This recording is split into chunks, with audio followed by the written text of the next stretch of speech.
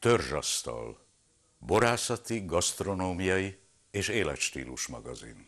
Frank Sándor, Venesz mesterszakács, a Fehértói halászcsárda teraszán tanyasi, filézett nyúlcombot süt, köretként pedig ünnepi zöldbab főzeléket készít.